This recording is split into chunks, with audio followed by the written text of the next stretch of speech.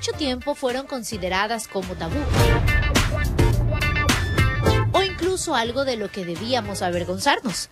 Hoy en día todo el mundo ve las fantasías sexuales como algo natural y propio de la sexualidad de cada uno. Cuando hablamos de fantasía sexual estamos hablando de eh, que vamos a utilizar uno de los órganos más sensuales y más eróticos del, del cuerpo humano, que no es el glande, ni el pene, ni es el clítoris en la vagina, ¿verdad? Es el cerebro.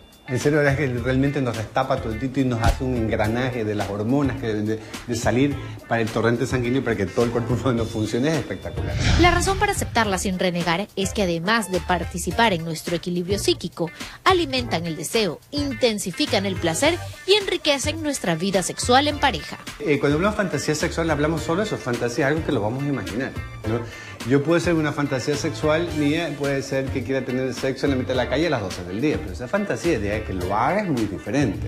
Aunque ninguna relación de pareja sana debería poner límites a la imaginación, es cierto que muchas fantasías sexuales pueden generar polémica por su naturaleza. En el sexo para mí todo está permitido, pero toditito, Cintia, toditito, toditito, menos una cosa, lo que es prejuicio.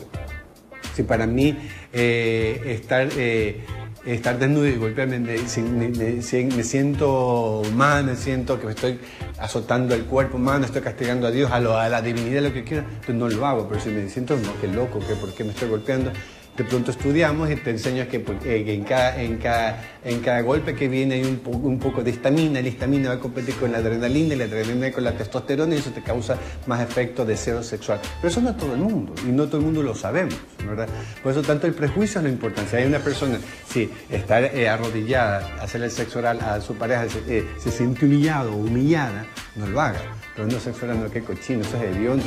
No, bueno, vamos a estudiar, lavémoslo, limpiémoslo pongámosle sabores y podemos tener el sexo oral. Entonces, el prejuicio es lo único que no hay que pasar. Cuando se trata de fantasías sexuales, debemos saber que en pareja esta fantasía debe ser adaptada para dos y teniendo en cuenta los límites de la otra persona. Acuérdate, estamos hablando de pareja. Pareja, estamos hablando de dos personas.